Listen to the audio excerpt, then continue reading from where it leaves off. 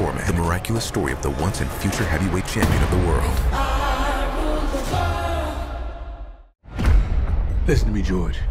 You got a punch like I've never seen. But in every battle, the greatest foe that we will combat isn't here. You live one way your whole life. Heavenly Father, thank you for this food. George should change his name from Four Man to Poor Man. To hurt. What's my name now, fool? Foreman is the new heavyweight champion of the world. Where's all that rage coming from? Don't from? have any rage. And it becomes all you know. Let's thank God for the food, y'all. How about the food, mama? George Foreman ain't no new champ. He is the new chump. We gonna get it on because we don't get along. Foreman goes down. Who said that? Nobody said nothing, George. George, whoa, whoa, whoa.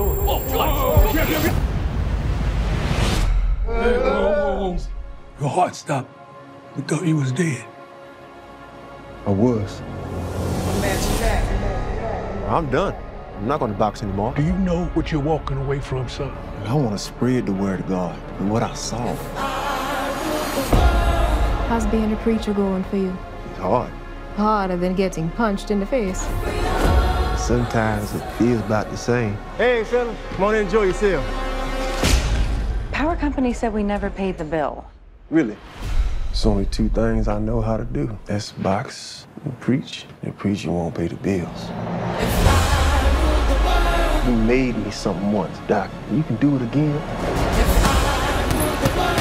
It is my destiny to win the heavyweight championship belt again.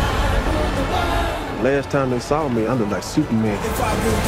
So now you look like the Michelin man. This ain't no beauty contest. Michael Moorer He's 26 and unstoppable. How can you beat that man? Foreman is considered an old man in this young man's game.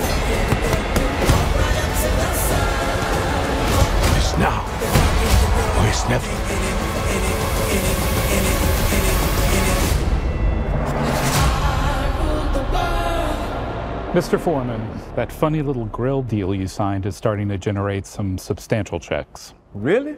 Now I'm just surprised they chose a big old fat guy like me to sell a beer to help people get lean.